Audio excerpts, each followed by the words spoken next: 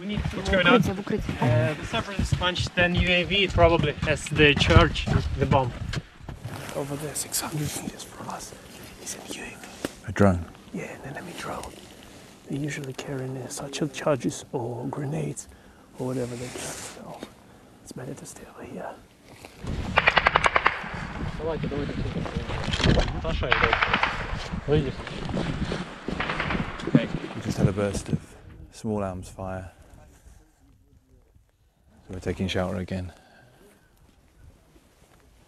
So who was shooting at who then? Uh, our guys shooting at the enemy drone. Ah, right, okay. Because uh, very often the drones carrying a charge, a grenade, or something else, they can drop it straight to the head because they have cameras and it's very easy for them to aim to our guys.